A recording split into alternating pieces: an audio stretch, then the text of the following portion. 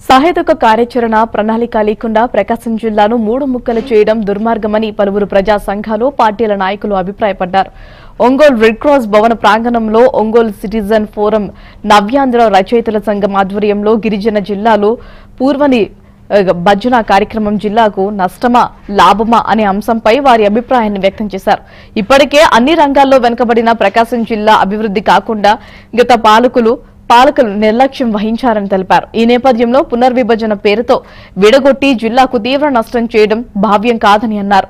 మార్కపురంను జిల్లా కేంద్రంగా ఉంచి ఎర్రగొండపాలెం కనిగిరి దర్శి గిద్దులూరు ప్రాంతాలను ఒక జిల్లాగా ఏర్పాటు చేయాలని డిమాండ్ చేశారు.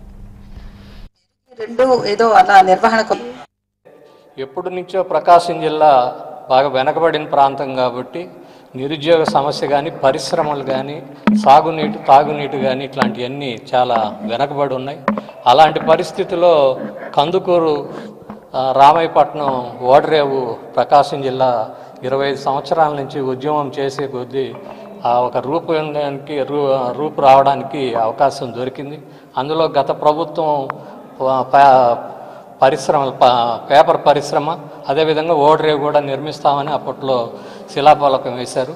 కానీ దాని తర్వాత కొత్త ప్రభుత్వం రావడం మళ్ళీ ఇప్పుడు ఈ పునర్విభజనలో మళ్ళీ కందుకూరుకి కందుకూరు నెల్లూరు జిల్లాకి వాళ్ళు ఇచ్చిన దీంట్లో మళ్ళీ వెళ్ళిపోతుంది. మొత్తం ఒక చెట్టు బాగా ఎదిగి పండు కాసి తినే సమయంలో మళ్ళీ నెల్లూరు జిల్లా వాళ్ళు మనది తీసుకెళ్ళే పరిస్థితికి ఆ పళ్ళు వెళ్ళిపోతున్నాయి. కాబట్టి రాజకీయ నాయకులు అందరూ కూడా ఓడరేవుని మిస్ చేసుకోగలిగితే మన ప్రకాశం జిల్లాలో ఉన్న యువతకి వలస కార్మికులకి అందరికి కూడా ఉపాధి కోల్పోవడం జరుగుతుంది.